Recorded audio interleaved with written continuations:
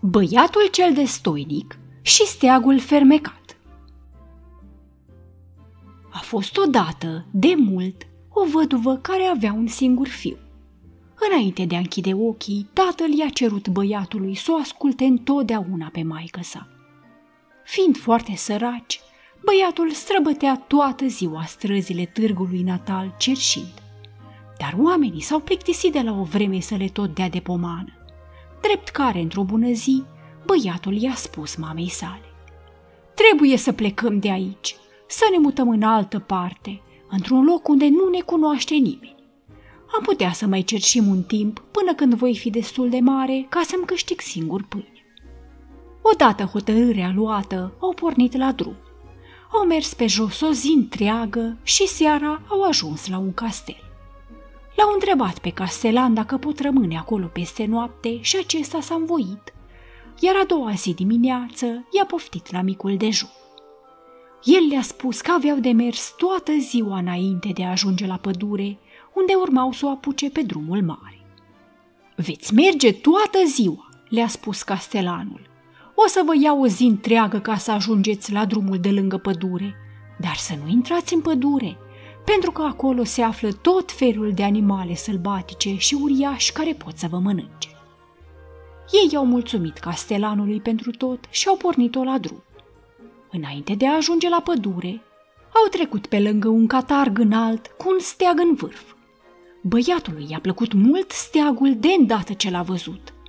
În cele din urmă au ajuns la pădure, care nu se afla prea departe de catargul cu steagul, și au făcut un foc în jurul căruia să nopteze.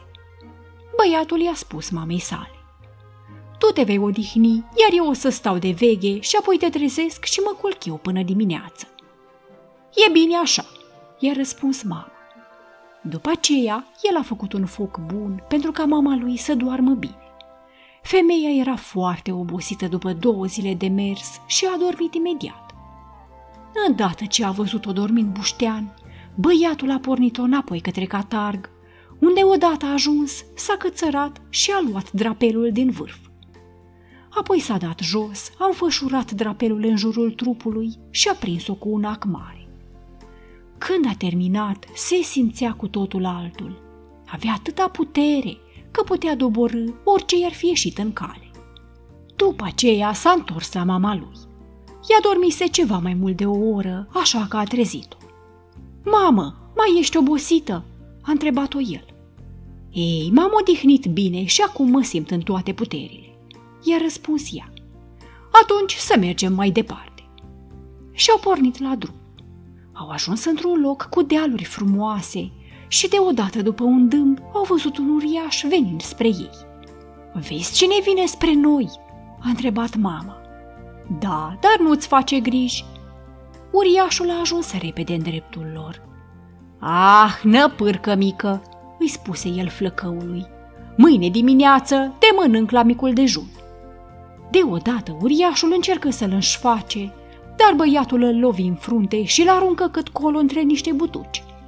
Apoi îl apucă din nou de brâu și-l aruncă în drum. Ei bine, uriașul, aflându-se într-un asemenea hal, și-a spus Mai bine mă las pe gubaș, ăsta e în stare să mă omoare. Ei, fie, îi spuse el băiatului, tu și mama ta veniți cu mine. Eu am un castel și vom sta toți trei acolo. Ne-am simțit bine împreună. Așa că uriașul i-a luat la castelul său. Fiind obosiți, seara s-au culcat repede. Dimineața, uriașul le-a dat de mâncare carne de ren. Băiatul n-a mâncat mult, că așa era felul. Uriașul se ocupa cu desțelenirea pământului.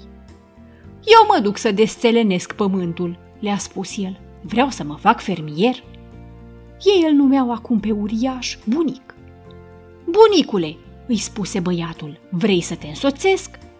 Bine, i-a răspuns uriașul, poți să vii cu mine, să vezi cum muncesc.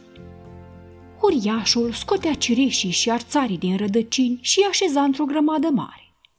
Băiatul se uita la el cum muncea. De îndată ce arunca un copac în grămadă, scotea altul ca și cum ar fi fost ca un pai. Dar încet, încet, începea să dea semne de oboseală. Bunicule, treaba ar merge mai bine dacă ți-aș da o mână de ajutor. Ești prea mic pentru așa ceva, i-a spus uriașul, dar poți să apuci copacul de vârf și eu îl apuc de trunchi. De fiecare dată când băiatul apuca un copac, îl ridica pe uriaș odată cu el. Și așa a trecut toată ziua.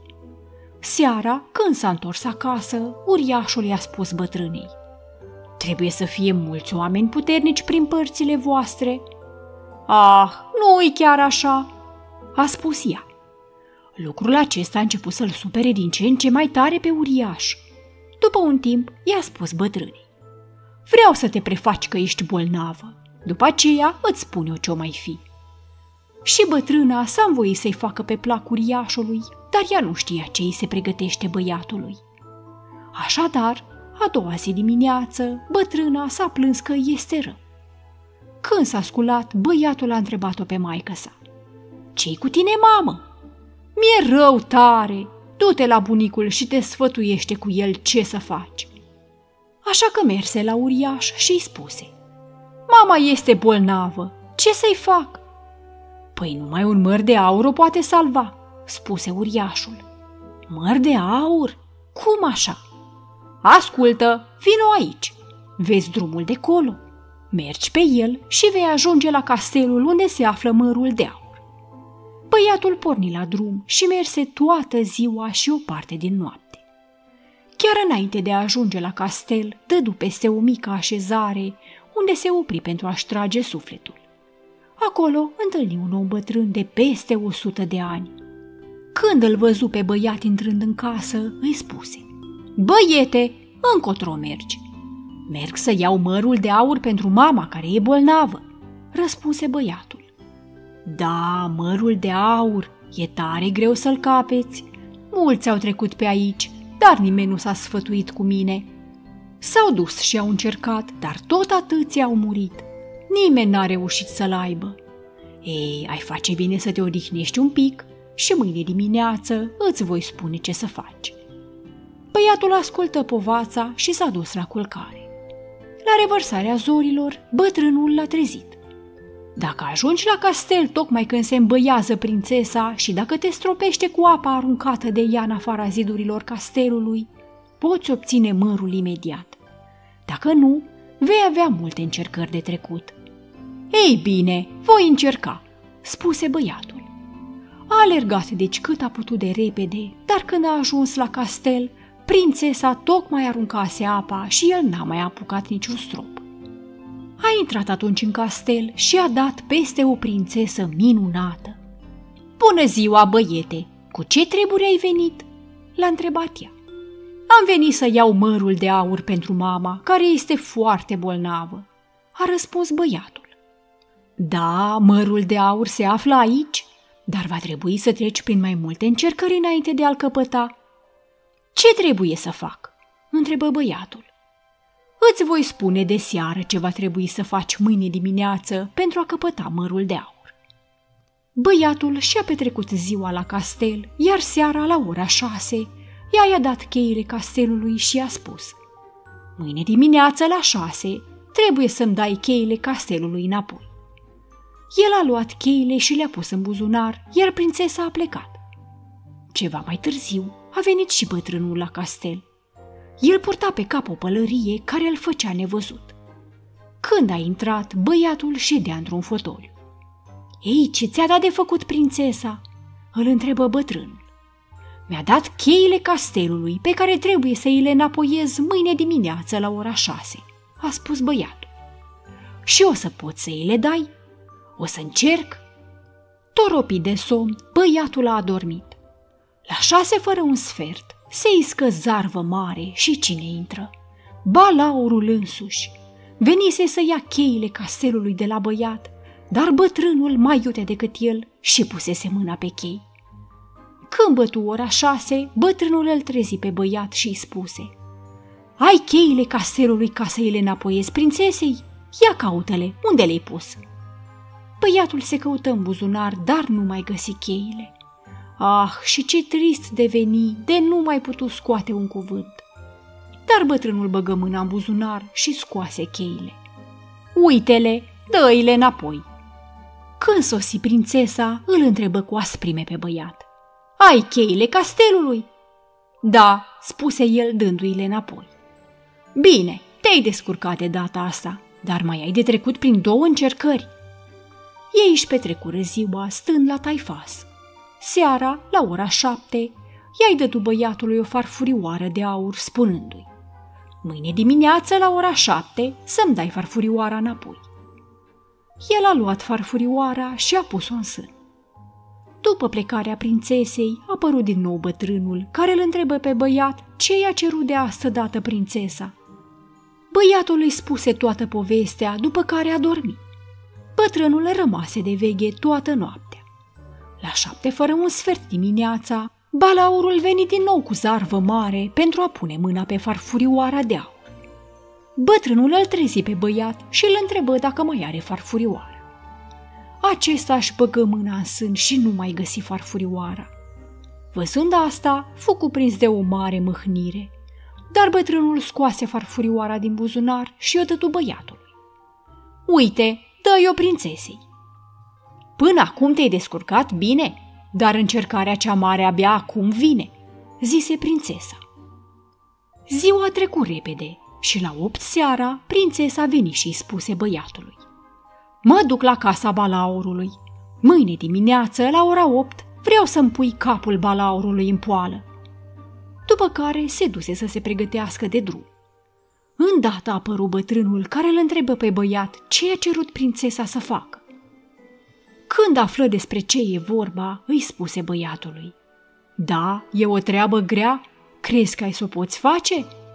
Nu știu, răspunse băiatul. Voi face tot ce-mi stă în puteri ca să te ajut, îl încurajă bătrânul. Nu mult după aceea, prințesa deschise ușa și spuse Eu plec de acum. Bătrânul se luă imediat după ea. Crezând că o urmărește cineva, ea se uită în spate, dar nu văzu nimic. Străbătu o pădure și în cele din urmă ajunse la o căsuță. Eu intru aici, spuse ea. Eu stau afară, își spuse el, postându-se lângă ușă. Era o noapte frumoasă, cu luni. După miezul nopții, prințesa ieși afară. Balaurul, care se ascunsese în casă, scoase și el capul pe ușă. Bătrânul afla după ușă, puse mâna pe capul lui și îl răsuci până când ne luă de pe umeri.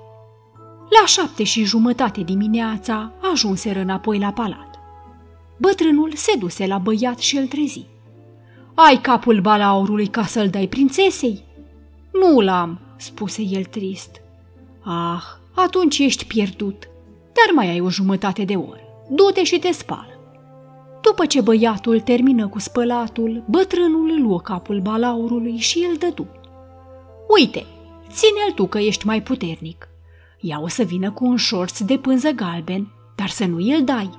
O să se întoarcă cu un șorț de aur și atunci poți să arunci capul în el. Totul se întâmplă în tocmai. Prințesa veni cu șorțul galben, dar băiatul nu voi să-i dea capul balaurului. Ea se duse și își puse șorțul de aur. Când se întoarse, băiatul puse capul balaurului în șorț. Acesta se zvârcoli un timp, după care căzu mort la pământ. Ah, spuse fata, ai câștigat. Voi fi soția ta pentru totdeauna. Ei au petrecut câteva luni la castel, dar băiatul se gândea tot timpul la mama lui. Mama este bolnavă, trebuie să plec și să-i duc mărul de aur.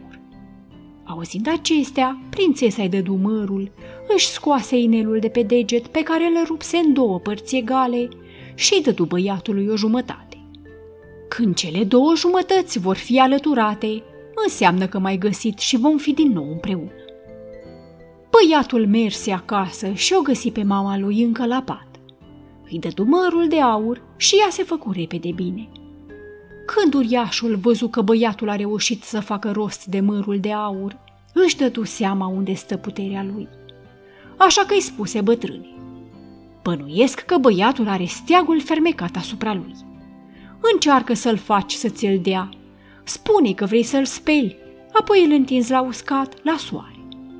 Dacă aș pune mâna pe steag, aș fi din nou puternic, gândea uriașul. Bătrânul uriaș plecă să taie copaci. Băiatul se simțea obosit și voi să se odihnească puțin. Atunci mama lui îi spuse, Cât bunicul tău este plecat, dăm drapelul să-l spăl, apoi îl pun la uscat și când este gata, poți să-l iei la loc. Băiatul ascultă de sfatul mamei, neștiind că ea este pe cale să-l piardă fără voie. Spălă ea steagul și îl întinse afară pe frânghie. Uriașul, care se afla prin apropiere, își făcă steagul și și-l înfășură în jurul mijlocului. Acum el era cel mai puternic, așa că se duse la băiat și îl trezi. Acum băiatul era ușor ca o frunză în palma uriașului. Aha, știam eu că e din cauza steagului. Ia vino afară! Uriașul îl duse pe băiat în pădure și îi scoase ochii, după care îl lăsă singur. Băiatul merse de la un copac la altul și ajunse într-un târziu la țărmul mării. Capitanul unui vapor ce naviga în apropiere privea țărmul printr-un ochean. Văzându-l pe băiat, ordonă marinarilor să plece cu o barcă la mal ca să-l aducă pe băiatul celor. Marinarii se duseră la țărm și l aduseră pe băiat pe vapor. Apoi capitanul spuse echipajului. Nu suntem departe de casă, așa că ne întoarcem. Cei de acasă vor avea grijă de băiatul acesta. Zis și făcut.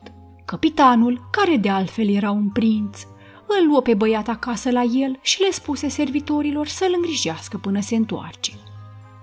Și astfel băiatul rămase la castel în seama servitorilor. În fiecare zi avea grijă de el alt servitor, după rang. În cele din urmă veni rândul majordomului casei, care era chiar soția băiatului. Aceasta, după plecarea lui, venise și intrase în slujbă la curtea prințului. Cei doi soți stătură toată ziua de vorbă. Fetei veni deodată o idee. Își scoase jumătatea de inel și o puse în farfuria cu supă. La masă el găsi în lingura de supă jumătatea de inel. Atunci scoase și el jumătatea lui de inel și o împreună cu cealaltă. Astfel ea a fost sigură. Tu ești soțul meu, cele două jumătăți ale inelului s-au potrivit. Ei bine, nu trebuie să mai rămânem aici, chiar dacă sunt orb. Avem tot ce ne trebuie, așa că putem să plecăm, a spus ea. Odată luată hotărârea, s-au dus la soția prințului să-i vorbească de plecarea de la castel, lucru care a întrisat-o mult pe aceasta.